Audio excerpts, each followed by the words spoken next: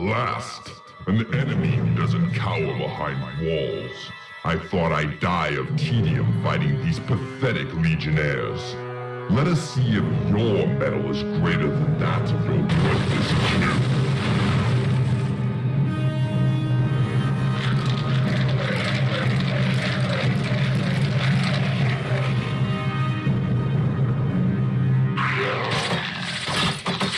Thank